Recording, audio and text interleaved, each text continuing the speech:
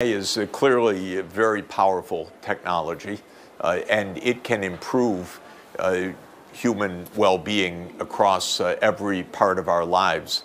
But we know there are real risks as well.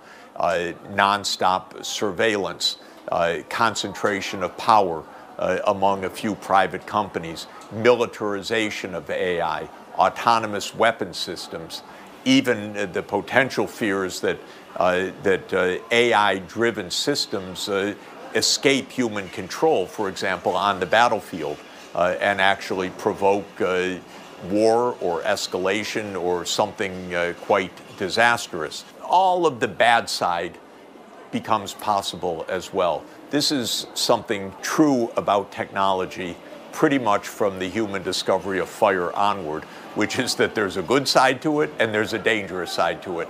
And what do you think of the hostility displayed by the Trump administration towards DeepSeek, you know, banning the government officials from using it right now, which could extend to you know, all sectors of the U.S. society potentially? We have a lot of companies very close into the Trump administration that are getting mega contracts from the CIA, from the Pentagon, from the National Security Agency, and from others that are creating a, a strong symbiosis of the security state uh, and uh, Silicon Valley.